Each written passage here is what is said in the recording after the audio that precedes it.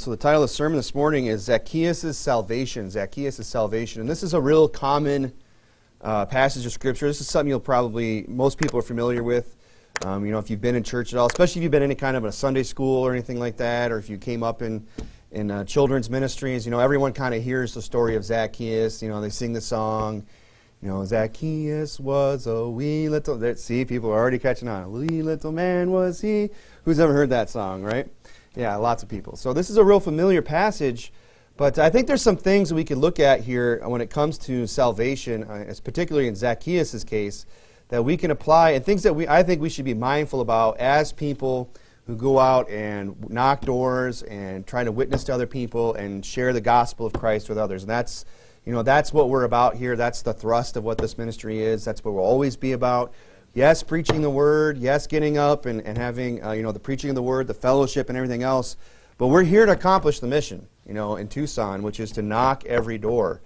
And uh, I think there's some things that we can, we can learn from Zacchaeus' salvation and keep in mind as we go about uh, preaching the gospel. Now, you're there in Luke chapter 19. Go over to, keep something there. We'll come back several times, but go to Mark chapter 10. Mark chapter 10. So in Luke chapter 19, the Bible says in verse 1 and Jesus entered and passed through Jericho, and behold, there was a man named Zacchaeus, which was chief among the publicans, and he was rich. So, he, you know, the scripture's telling us a few things about this man, and it's pointing out the fact that not only was he the chief among the publicans, but also that he was rich. So, Zacchaeus was one who had a lot of wealth. You know, and there's a lot right there that we should learn from, is the fact that we don't want to get this attitude where we just write off rich people. You know, and I've seen this kind of attitude, and I probably even been guilty of it to some degree myself, where you know we go into the more affluent neighborhoods, you go into the nicer places where people are a little better off or wealthy, you go into the gated community, and we kind of go. Sometimes people can go in there with an attitude of, well, nothing's going to happen here. I mean, just look at these houses, and they can even get such a bad attitude to the point where you know their demeanor at the door is even poor. You know, and and and I only bring it up because of the fact that I know it happens. You know, as as deacon, one of my duties is, you know, receiving the emails and the phone calls that come into the church. You know, and and and as, and I know it's not really a problem down here. You know, I've never gotten a call about it down here, but you know, we're a smaller church, and really we haven't spent a lot of time in the more affluent neighborhoods. You know, we've been in South Tucson, the more poor areas of Tucson, which is you know where we want to go. That's where Jesus put the emphasis. But he, you know, he also did go reach the rich. You know, we, this is a great example of it. You know, and I'm kind of bringing it up because of the fact, you know, I do receive those calls, you know, from people who say, hey, you had some people here, you know, and I'm just letting you know they were kind of rude. Their attitude kind of stank. You know, they, I said I wasn't interested politely, you know, and they just kind of just gave me a dejected look and turned away without even saying anything. You know, I'm not one of these people that thinks that, you know, if someone doesn't want to hear what I have to say, I'm just going to not say anything and walk away. I'm going to say, okay, have a nice day. Thanks. God bless you. Happy New Year. Whatever. You know, Merry Christmas. You know, unless it's July or something. That would be odd. Right? But I, I say a nice, warm, you know, greeting, a nice, warm goodbye, and go on my way. Because you have to remember when we're out there, you know, whether it's door, whether you're going door to door, whether you're witnessing to somebody even in your personal life, you know, and trying to share Christ with them, if they reject you, you know, uh, they're not really rejecting you, they're rejecting Christ. You know, it's not, anyone could bring that message and that's what they would reject. It's not necessarily you. But, it, you know, that's not an excuse either to just, well, let me just treat them like mud then. Let me just treat these people like dirt because, you know, after all, it doesn't matter if they reject me, they're rejecting Christ. You know, but people can develop this attitude when they get into more, uh, or areas that are less receptive they start to get this attitude of, well, you know, these people are wealthy, so we can just treat them however. You know, that should not be the case.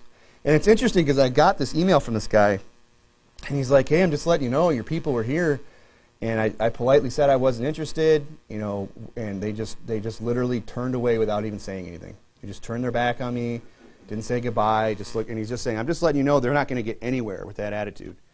And I, at first, I was like, well, I'm going to give this guy a piece of my mind, you know. try to stick up for these guys. But I was like, hey, we appreciate your feedback. You know, I can assure you that, you know, that wasn't something that we promote here. We always try to encourage our people to have a good demeanor at the door. You know, they're less than perfect. Maybe they're having a bad day. And he wrote back, he's like, well, I understand that. You know, and he, and he even said, you know, I'm not a believer. He says, but man, we could really use a Christian attitude in this country today. So even an unbeliever understands that, you know, we as Christians should be known as people of peace and love and gentleness, that we should have, uh, you know, a certain demeanor about us. You know, you know, if we're, if we're saved and we're filled with the Holy Spirit, you know, we should have those fruits of joy, peace, long suffering, gentleness, goodness, meekness, temperance, all these things. We should have those fruits of the spirits in our, in our life. And if you know, we're saved and we don't have that, we may want to you know, take a step back and ask ourselves, why don't I have the fruit of the Spirit in my life? Why am I you know, a cantankerous, contentious, angry person? And I'm not saying there's never a time and place to get angry or, or to contend, but I am saying, you know, if that's always the case with us, you know, especially when we go into a rich neighborhood and we just say, well, look at, you know, they got a nice, huge driveway and a manicured lawn. I'm just going to, you know, have a bad attitude. You know, that's not the fruit of the Spirit. We need to check ourselves. I mean, that's not Jesus' attitude. He didn't see Zacchaeus on the tree and said, well, he's rich. I'm just going to move along. You know, he, he took the time to stop and talk to the poor, to the rich. He was not a respecter of persons, and neither should we. Should we. You know, Jesus loved and ministered to the wealthy. You know, we put a lot of emphasis here on reaching the poor, and we should, but let's not forget the fact that we also are here to minister to the wealthy. You know, Jesus didn't walk by Zacchaeus and say, you know, I'll, I'll come eat at your house, but how much money do you have in your bank? You know, uh, how, you know, what's your check balance at? You know, do you, how much, what's your, what's your uh, annual gross income before I fellowship with you? Oh, that's too much. Sorry, I can't be seen with you. Or I can't, I can't, you know, have any compassion towards you because, you know, you make too much money. Now, that's not his attitude. Jesus ministered to the wealthy as well as the rich. If you look there in Mark 10, verse 17, it says, And when he was gone forth and away, there came one running and kneeled to him and asked him, Good master, what shall I do that I may inherit eternal life? Look at verse 18. Jesus said unto him, Why callest thou me good? There is none good but one, that is God. Thou knowest the commandments do not commit, uh, commit adultery, do not kill, do not steal, do not bear false witness, defraud not, honor thy father and mother. And he answered and said unto him, Master, all these have I done, I have observed from my youth. Jesus then, beholding him, went, liar. Because this is the rich young ruler. You know, we know from other contexts, right? No, it says Jesus, beholding him, loved him. I mean, despite all this guy's pride and arrogance and those statements, oh, I've done all these things. You know, what else, what else lack I yet? Despite this guy's, you know, his affluence, how well off he was, and we'll even see that here in later in the scripture. It says he had great possessions you know, Jesus still loved him because that person, you know, he saw beyond their bank account, the things that they owned, the possessions that they had, whatever. He saw beyond all that and just saw another soul that needed to get saved. Someone else that he needed to receive Christ as Savior. And that's the attitude that we should have. I think this is an important lesson we can learn from the story of Zacchaeus and his salvation. He said unto him in verse 21, Then Jesus, beholding him, loved him, and said unto him, One thing thou lackest, go thy way, sell whatsoever thou hast, and give to the poor and thou shalt have treasure in heaven, and come take up the cross and follow me. And he was sad at that saying, and went and grieved, for he had great possessions. And Jesus looked around about, and saith unto his disciples, How hardly shall they that have riches enter into the kingdom of God? You know, if that's the case with rich people, you know, that, that should not compel us to be more, you know, to be cold hearted or to be short with them. That should compel us to have even more compassion for them. Because they have even a more difficult time of entering into the kingdom of God because of their riches. And Jesus clarifies here what he means by that. He says, in the disciples, verse 24, were astonished at his words, but Jesus answereth again and saith unto them, Children, how hard is it for them that trust in riches to enter into the kingdom of God? So the problem was not, you know, the wealth itself, but was the fact that the rich man was trusting in his riches. It was where his trust was. But unfortunately for wealthy people, that's kind of what they do. They, a lot of wealthy people will view religion as something, well, that's just for, you know, weak people. That's just for poor people who need a crutch to lean on. You know, I'm somebody who's made something of myself. You know, I've worked hard. I've pulled myself up by my bootstraps and went out there and worked hard and made something of myself. You know, and what they're doing is they're trusting in themselves. They're trust, trusting in their own riches. They're saying, well, I don't need any of that. I mean, look how well I've done. Look how prosperous I am. I, you know, I've worked hard. And, you know, a lot of times people come into those riches by honest means. Not every rich person out there is some corrupt individual. A lot of, you know, a lot of people work hard and they, and they endeavor, they make their life all about that and they make a lot of money and they do it through honest means often. but the problem is, is that because of that, they then begin to trust in those riches. And it makes it more difficult for them to enter into the kingdom of heaven. And that should compel us to have more compassion for them, not less. You know, when we go into the affluent or the wealthy or the you know better off neighborhoods and knock on these doors, you know, we should probably be even nicer. We should probably try, you know, you think, oh, you're going to the ghetto. That's where you want to make sure you're extra nice in the ghetto, right? Because, you know, you, you don't want to make some gangbanger mad or something like that. You don't want to get you know, beat down out in the street, you know, say the wrong thing. But actually, it's the other way around. I'm not saying go into the ghetto and run your mouth, by the way. don't do that. Still be nice, okay? But I'm just saying, you know, we should be at, least as nice as that in these, in these rich neighborhoods. But sometimes we go in there and just like, well, I'm in some wealthy neighborhood and pff, these people probably aren't going to get saved anyway. And you know what? They probably aren't. They're probably not going to come back with, you know, several salvations in all likelihood. That's true. But again, that should compel us to be more compassionate, not less. That should compel us to be nicer, not less. You know, on Wednesday nights in Tempe, we've been going into the, you know, the nicer parts of Chandler, Tempe, and stuff like that, and we've been doing it for two years now. You know, we've, we've knocked all the poor areas, some of them several times over in, in, Tempe. And it gets to a point where there's a law of diminishing returns, where you've just, you know, you've squeezed all the salvations you can out of that poor neighborhood, right? And now you're starting to recognize people. They're recognizing you. They're saying, you knocked my door, you know, multiple times. I know people have had that happen. So now we're going in these wealthier neighborhoods, and you know what? We'll go out there with 15 people, van load of people, and we'll come back with one salvation. And you say, well, and we praise God for that. But you know, if I took that same amount of people and spent that same amount of time in a, you know, a more receptive neighborhood, we'd probably get more people saved, you know? But we're just never supposed to just completely ignore the wealthy. What about that one person there that would have gotten saved? And maybe we'd even see more salvations if people made sure that they had a compassionate attitude when they went into these wealthier neighborhoods, like Jesus had for a man who was rich named Zacchaeus. Because don't forget, let's look at there in Mark chapter 10, the latter end there. It says in verse 26, and they were astonished out of measure, saying among themselves, who then can be saved? You know, they're already getting that attitude. Well, it looks, sounds like they're on their way to hell. Who can get saved then? Well, you know, nuts to them. Too bad. Enjoy your wealth. But Jesus reminds them in verse 27 And Jesus, looking upon them, saith, With men it is impossible, but not with God. For with God all things are possible. Look, the, the gospel is just as powerful in the ghetto as it is in Beverly Hills. It's just as powerful in the low income uh, areas as it is in the high income areas. It, the gospel still has the same power. God could still work, God could still use that in someone's life. And here's the thing, you know, God is the one, we understand in John, I won't go there for sake of time, but he said, Jesus said, except the Father, no man can come unto me except the Father draw him. You know, it takes God to get somebody saved. And I don't mean that in some Calvinistic sense, like, you know, God, you know, it's God's will that only certain people get saved and others don't. You know, God is not willing that any should perish, that He is the Savior of all of men, especially those that believe. You know, whosoever believeth in Him should not perish, but have everlasting life. But what the point I'm making is this: is that you know, it took God to draw you to salvation just as much as it's going to take God to draw anybody else to salvation. And God didn't, you know, just show favor because He said, "Well, you're not as wealthy." Know, you're poor, so let me just, you know, make an exception for you. God, he, Jesus said, if I be lifted up, I will draw all men unto me.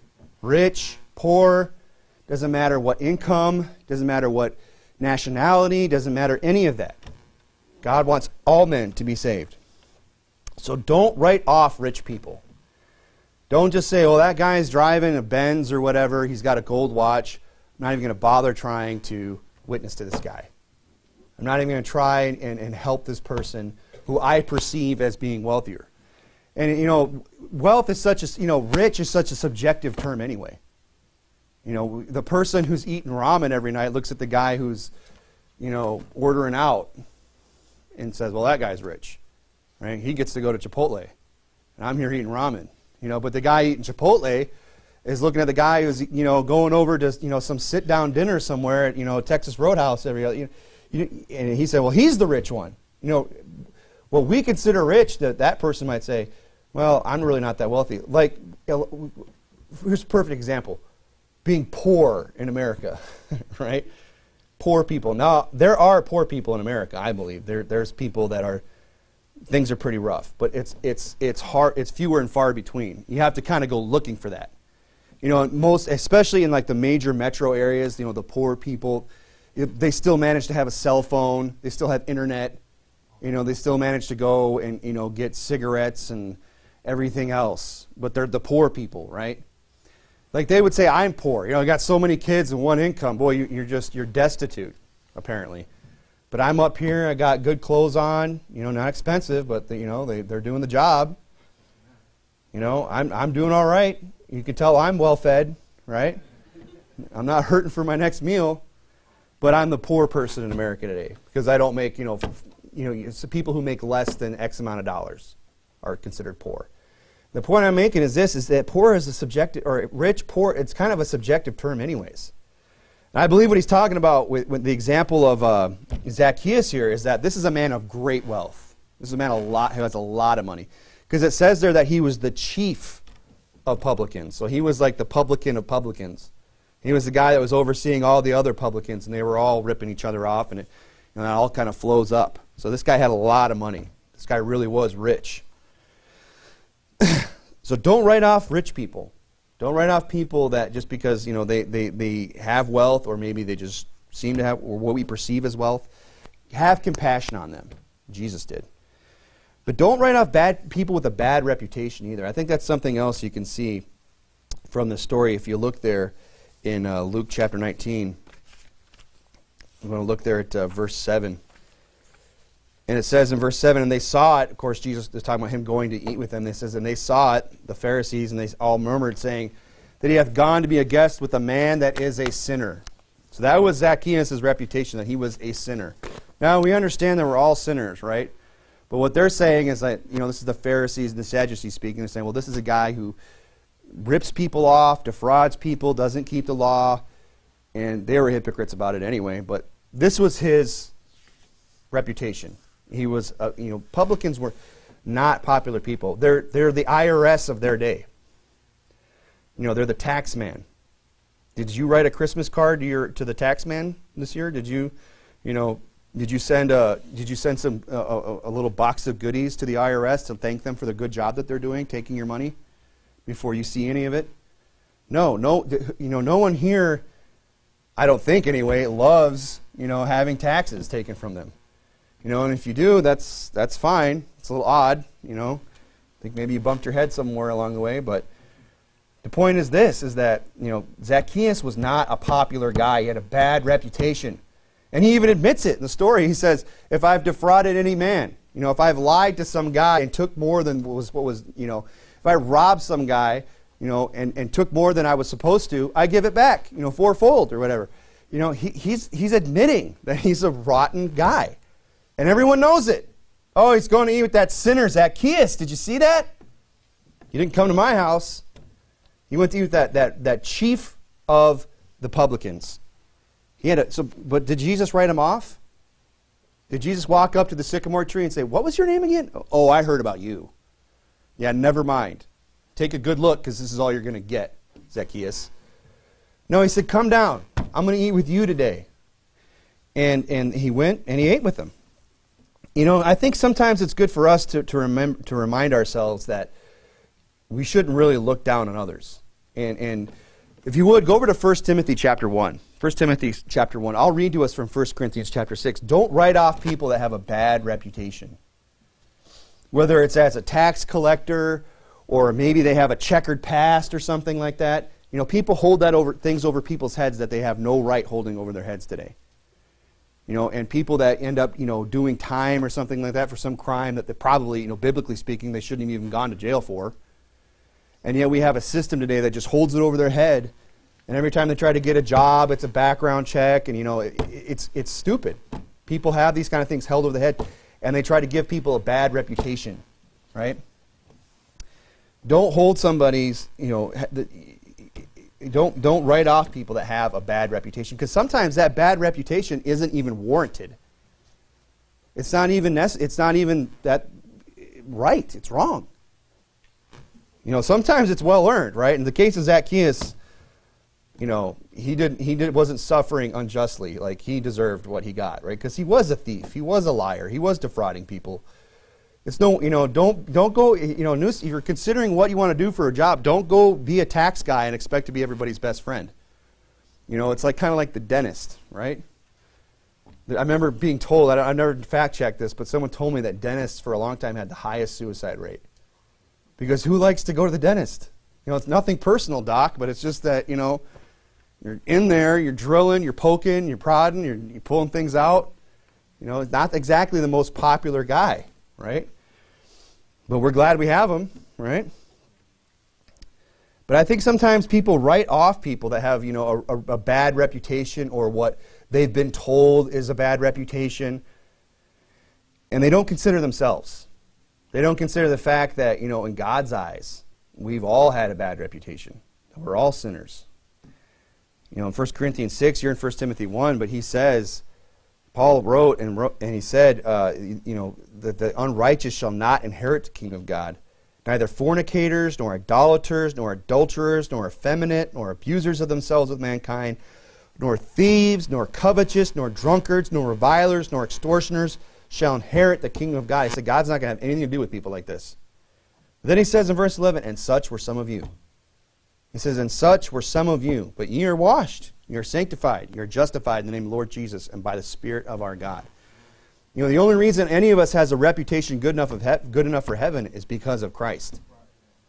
You know, and we, so we shouldn't write off other people just because they have a bad reputation or we're told that they have a bad reputation, whatever. We should not write them off. And it's interesting there he says, and such were some of you. He doesn't say, and such were all of you. You know, there's some people that are never going to have a bad reputation. You know, I think about kids that are growing up in a Christian home. You know, if, as long as they walk with the Lord and they're faithful to the Lord and they, and they do the things of God, they're probably not going to grow up and be known as, you know, somebody with a bad reputation. In fact, they're probably going to have a good reputation. But here's the thing every single one of us has the potential to have a bad reputation. Even if we don't have one, we all have the potential to go get one. Look at 1 Timothy chapter 1. You want to talk about a guy that had a bad reputation? Look at the Apostle Paul. And by the way, a reputation that was earned and warranted before he got saved. He says, And I thank Christ Jesus our Lord, who hath enabled me, for that he counted me faithful, putting me into the ministry, who was before a blasphemer and a persecutor and injurious. He didn't say who was called these things. He says, No, that's exactly what I was. I was a blasphemer. I was a persecutor and injurious. But I obtained mercy because I did it ignorant and unbelief, and the grace of our Lord was exceeding abundant with faith and love which is in Christ Jesus. This is a faithful saying and worthy of all acceptation that Christ Jesus came into the world to save sinners, of who I am chief. Paul's saying, I had a really bad reputation. You know what? That didn't stop God from saving. In fact, I am the exact person that Christ came into the world to save. And we can all say that because we're all sinners. Because and that and we're all sinners, and Christ came into the world to save sinners. And look, you might have a good reputation, and that's great. Keep it that way. Don't lose that. But understand this: that doesn't give you right to write uh, the, the, the, the right to write off other people.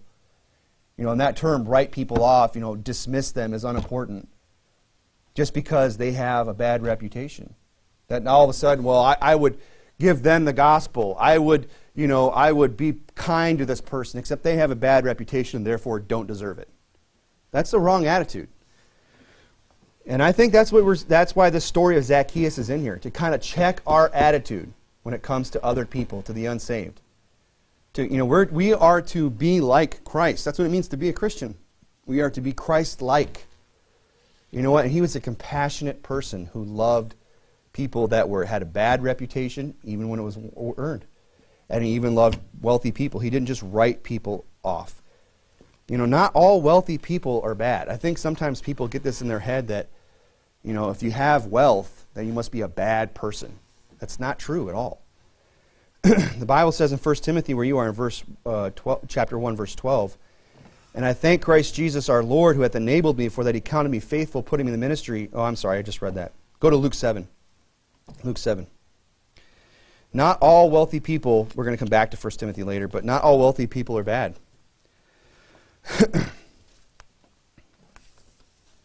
I mean, we even see examples of good, wealthy people in, in the Bible. You're going to Luke 7 and Luke 8. He said, There are certain women which had been healed of evil spirits and infirmities, Mary called Magdalene, out of whom went seven devils, devils and Joanna, the wife of uh, Chuza, Herod's steward, and Susanna, and many others, which ministered unto him out of their substance. So this uh, Chuza, Chuza, however you say it, Herod's steward, the wife of Herod's steward, you know, that's Herod the king. Don't you think this lady had some money? If you're if you are the wife of you know, it's always the you know, if your husband has wealth and you're the wife, you have wealth. That's kind of how it works, right? She had Chuza's credit card, right? She had she had the debit. She had access to the funds, as it were. And that guy had some money. You're not the king's steward, and not he's not he's going to take care of his own. You know, people in those kind of positions, they get paid well. Especially back then, you know, he's probably, you know, his inner circle, he wants to make sure it's people that he can trust that aren't going to, you know, try to do him harm or whatever. But you know what? She, this lady, Chuza, the wife of, uh, the wife of Chuza, Herod's steward, she ministered unto Jesus of her substance. So this is a very wealthy lady. You know what? But that didn't make her a bad person because she ministered unto Christ of her substance. Look there in Luke 7. It says, Now when he had ended all these sayings, in verse 1, in the audience of the people, he entered into Capernaum, and a certain centurion servant. So this is a Roman soldier, right? A centurion. So he was over a hundred men. He was a, like a he was an officer or whatever. He was high ranking. He said, A certain centurion servant who was dear unto him was sick and ready to die. So this guy's got a servant. You know, that, that's indicating this guy has wealth, right? And he heard of Jesus, he sent unto him the, uh, the, elders of the Jews, beseeching him that he would come and heal his servant.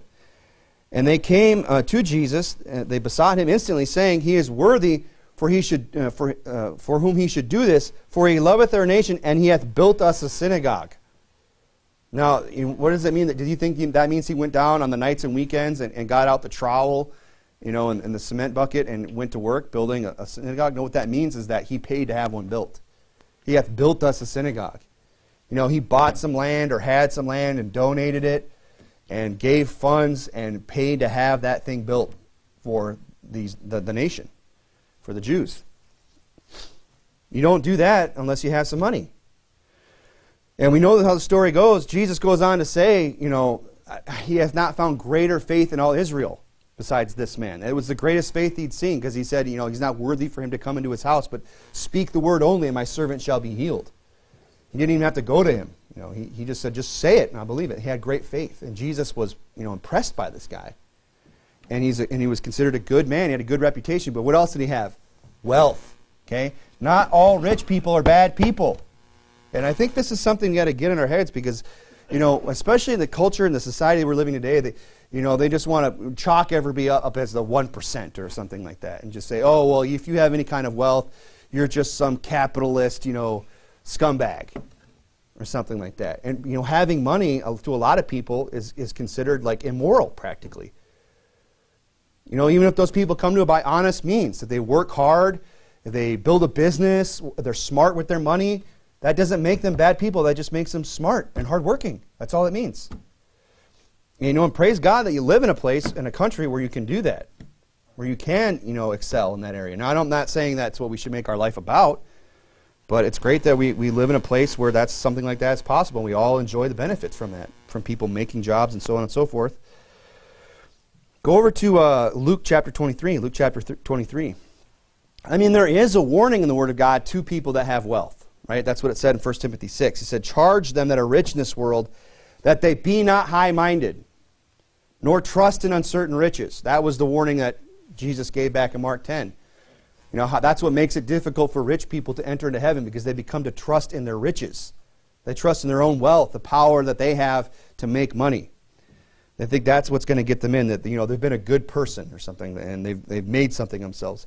You see, you know, warn them, you know, that they, that they trust not in certain riches, but in living God who giveth us richly all things to enjoy, that they do good, that they be rich in good works, ready to distribute, willing to communicate, laying up in store for themselves a good foundation against the time to come, that they may hold on, uh, uh, may lay hold on eternal life. So Jesus warns people that are rich, you know, to conduct themselves in a, in a certain way, that they shouldn't trust in those riches, but rather they should be generous people, and they should use that wealth that they have to further the kingdom of God and lay up for themselves you know, uh, treasures in heaven where moth and rust does not corrupt, where thieves do not break through nor steal. That's the warning there. And he also warns people that will be rich, right? In 1 Timothy, he says, But they that will be rich fall into temptation and a snare, and to many hurtful and foolish lusts, which drown men in destruction and perdition. Because the love of money is the root of all evil. Not money itself, it's, it's how we treat riches, how we approach money, wh- how it affects our heart, essentially. That's where the danger is, not the money itself. I mean, money is a very useful tool. You can, the more money you have, I mean, we can do more things for God because we have money, because of the funds that come in. And I'm not saying that you know Faithful Word's rolling in it or something like that. You know, where this isn't Joel Osteen's church.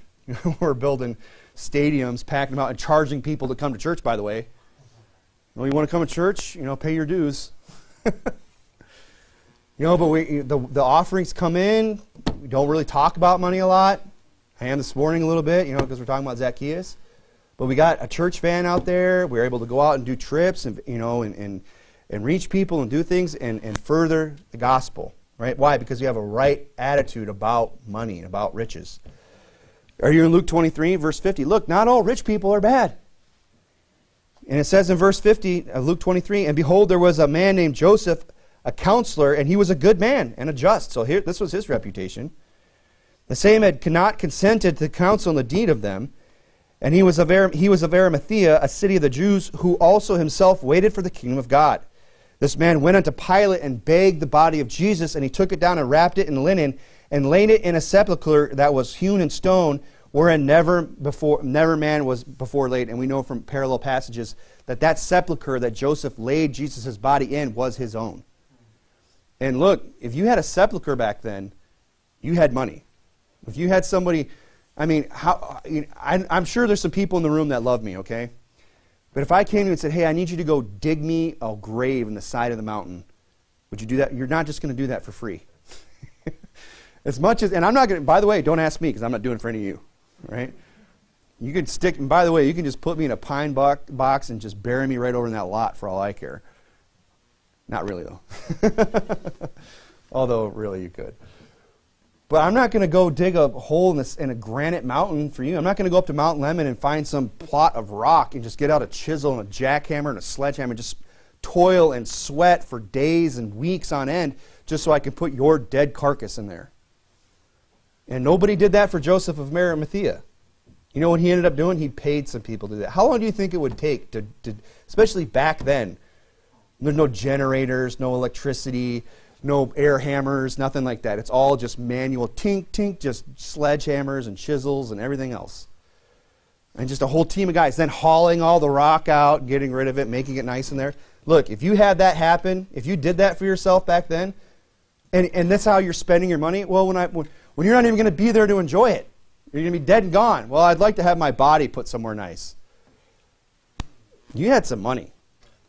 And the Bible says here that this guy, Joseph of Arimathea, was a good man and just. Not all wealthy people are bad people.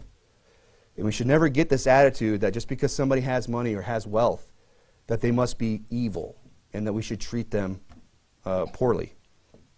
Now Zacchaeus, now Zacchaeus again, he had a well, he had his, he earned his reputation. That it was a bad one, right?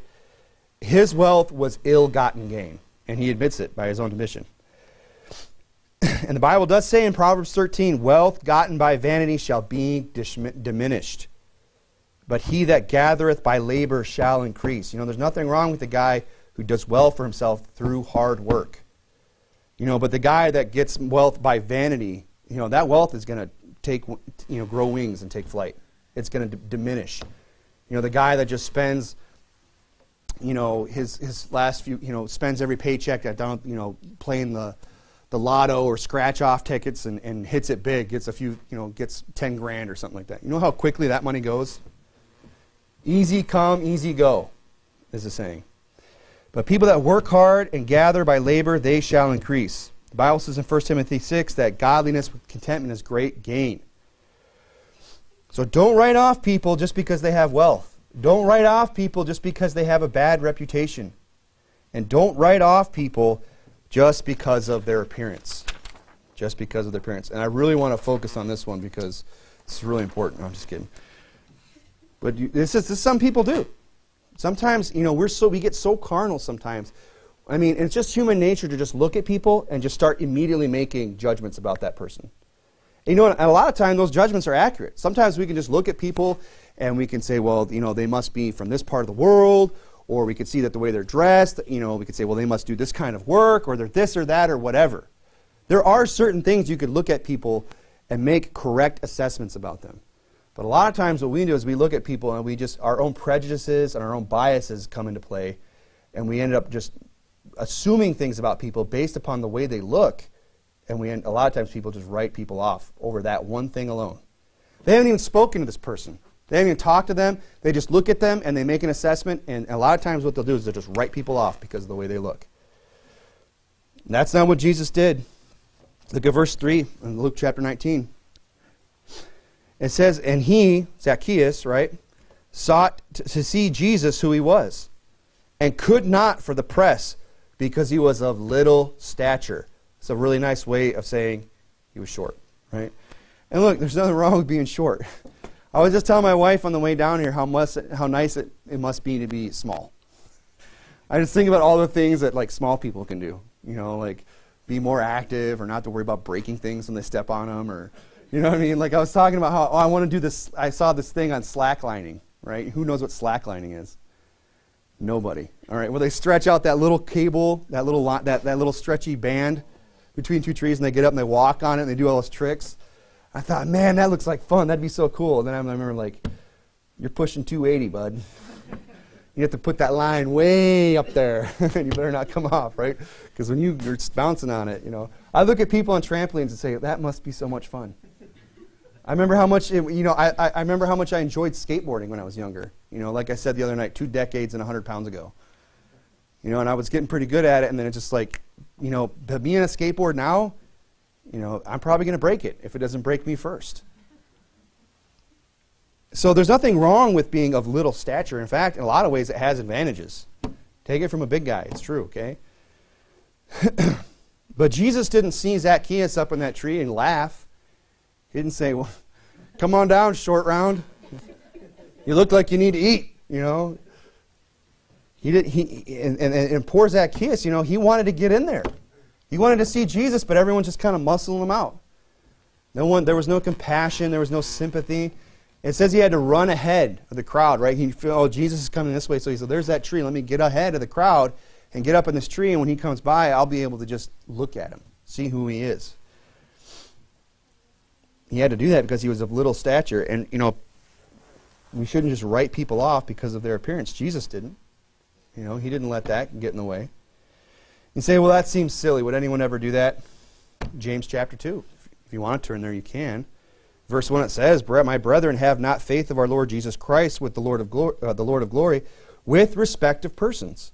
For if there come into your assembly a man with a gold ring and goodly apparel, apparel and there come also in also a poor man in vile raiment, and ye have respect unto him that weareth the gay clothing, and say unto him, Sit thou here in a good place, and say to the poor, Stand thou there, or sit here under my footstool. Are ye not then par- partial in yourselves to become judges of evil thoughts?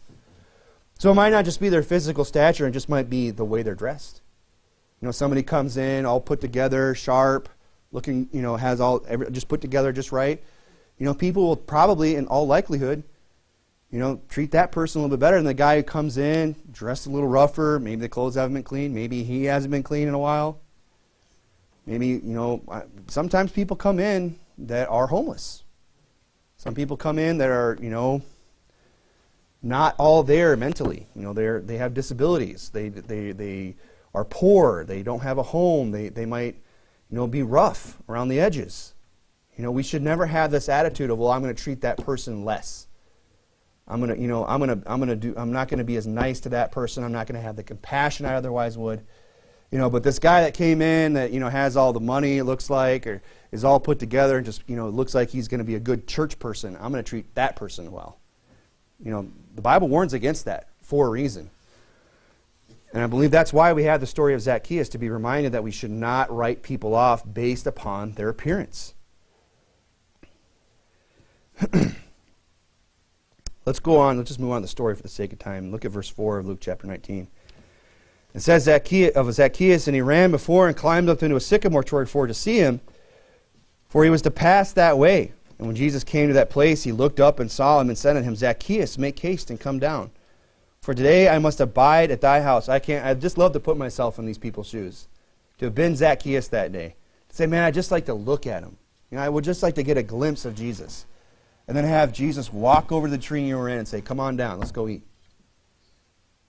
And he made haste, verse 6, and came down and received him joyfully. And I believe this here is the moment of Zacchaeus' salvation. And this is important to understand because some people will try to take this and teach false doctrine from this passage. I mean, this was the moment I believe that, that, that Zacchaeus got saved because it says there he received him joyfully, right? He, he was already kind of looking for Jesus. He was always kind of, he already kind of heard, about him. He knew who he was. He might even heard Jesus preach. In all, li- all likelihood, he probably had. And now he's able to receive him joyfully. Because you got to kind of consider the fact that Jesus just basically invited himself over for dinner. And that's basically what he did here. I'm not saying he was being rude. He was worthy of that honor.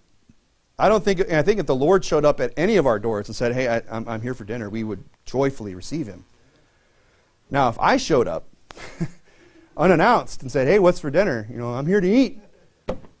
You say, well, why should we take? Well, I'm the deacon. Right? You say, well, great, come back, you can do the dishes. Right? Because that's what deacons do. They minister the table. Right? You can clear the plates when we're done, deacon. Right? I mean, Jesus here, he just basically invites himself over for dinner. And, and, and, and Zacchaeus wasn't like, don't you know who I am? I, I don't remember asking you to come over. He received him joyfully because he knew who he was receiving. Do you think if everybody did that to Zacchaeus, that's the re- reaction he would have? If somebody just came over, hey, Zacchaeus, I'm coming over, what's for dinner? He probably wouldn't receive every person joyfully. That wasn't Zacchaeus' shtick. You know, this is what he did with Jesus because he understood who Jesus was. I believe this is when he got saved. And it's important to understand that. Let's see here in a minute. I mean, he sought Jesus, right? He was trying to get a, a look at him. And he received Jesus. And because of that, he was moved to good works. Okay? Because a lot of people take you to verse, uh, verse 7 or verse 8, and they'll say, well, this is when he got saved. It's verse 8. It says in verse 8, And Zacchaeus stood and said unto the Lord, of course, this is after they went to his house and ate, and said unto the Lord, Behold, the Lord, uh, behold, and said unto the Lord, Behold, Lord, the half of my goods I give to the poor. And if I have taken anything from any man by false accusation, I will restore him fourfold. Basically saying, I've taken things by false accusation. And Jesus said unto him, This day is salvation come to this house, for as much as he also is a son of Abraham. I say, well, see, look, Jesus said that's when he got saved. He said, you know, salvation has come to this house after he did all these good works, after he repented of all his sin. But wait a minute. He said, Jesus said, this day. He didn't say this moment. And was he even talking about necessarily about that type of salvation, the salvation of his soul? You know, we can read a lot of different things into this if we wanted to. But Jesus, you know, he's saying like this day is salvation come to this house, meaning, you know, it's come to this house this day, not at this exact moment. For as much as he also is a son of Abraham. Now, what made him a son of Abraham? It was his faith. Right? And the Bible says in Galatians 3 Know ye therefore that they which are of faith, the same are the children of Abraham. That means me and you are as much children of Abraham as Zacchaeus was. Because we're all children of Abraham by faith, the Bible says.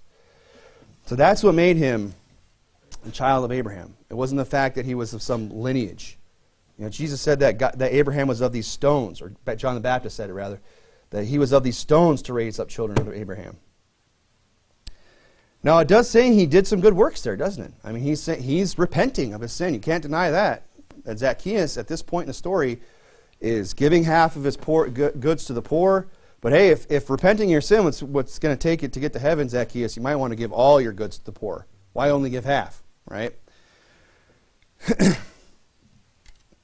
he's doing some good works, though. You know, he's trying to restore, make things right. I'm not against that. But I am against saying that's what you got to do to get saved because that's not what the Bible teaches. The Bible says, For by grace you saved through faith, and that not of yourselves. It is the gift of God, not of works, lest any man should boast. In fact, go over to Ephesians chapter 2. Go over there. Because here's the thing there are some things that we should do as Christians, right? And Zacchaeus is a good example of that. There's some things that we should do, but there's some things, there's only one thing that we must do to go to heaven. The Bible says in Ephesians 2, if you're there, in verse 9, or go to verse 10 rather, for we are his workmanship created in Christ Jesus unto good works. So we're not, we don't do good works to be saved. He said we're create, we're, uh, we are his workmanship in Christ Jesus unto good works. We get saved and then we do good works after we're saved, not before. And you I, I think when you read the story of Zacchaeus, it's pretty clear he got saved in the sycamore tree when he came down. And you know what? If he decided after that to not give any of his goods to the poor, if he decided not to uh, you know, restore fourfold to any man that he has defrauded, he would still have gone to heaven. He still would have been a child of Abraham. He would just would have suffered the consequences along the way for being a thief and a liar. there are things we should do. There are things that we have been, uh, there are good works that God has ordained that we should walk in. We should walk in them. But there's only thing we must thing we, thing we must do to be saved, right? Acts chapter 16. What must I do to be saved? What must? Believe on the Lord Jesus Christ, and thou shalt be saved. That's the only thing. so really, what we see from this story is that there's there's really only two types of people in this world. You know, we want to break things down into so many other categories with people. We want to look at people and say, well, this person's wealthy, this person's poor, this person's middle class. And I understand, you know, that there's a, obviously those statements are true. But spiritually speaking, there's really, you know, only two types of people. It's not just rich and poor. It's not just, you know, people that are of good, upstanding citizens or people that have, you know, a checkered past. People who have a good reputation and people who have a bad reputation. That's not how God breaks it down. It's not even that there are some people that are, you know, of a better stature than others, you know, based on appearance. These, this, this person is good looking, this person is not. This person is attractive, this person is not. That's not how God sees things. God sees things through, by these, uh, he breaks people down to these two categories saved, not saved. Saved, not saved. Born again, not born again. That's it with God. He doesn't look at people and judge them by their by their, by their, uh, you know, their race. He doesn't judge them by their riches, their wealth. He doesn't judge them by the way they look. He doesn't judge them by their past, any of those things. He judges people based on one thing. Have you put your faith in the Lord Jesus Christ or not? That's how God looks at the world. And I'm just trying to admonish us this morning to be reminded of that and to look at the world the same way. Don't write people off. Don't write people off just because you perceive something about them. Oh, they, they're wealthy. You know, they're gonna, they, they probably don't even love God just because they have money. That, that's not true. Look at all the people in the Bible that loved God, that had great wealth. You know, don't just look at people and say, well, you know, I'm going to write this person off because they're short. What a stupid reason to write somebody off. Because they, they're not, they don't meet some physical criteria that, that the world has, has said you this is what people need to look like or whatever it is. We write people off for all kinds of different reasons, and we develop bad attitude. Maybe we would never just come out and say it. Maybe it comes through in our attitude. Maybe it comes the way through the way we treat other people. We got to understand God only sees people. He sees saved people and he sees lost people, and He doesn't just write people off. And neither should we. Don't write people off. Let's go ahead and pray.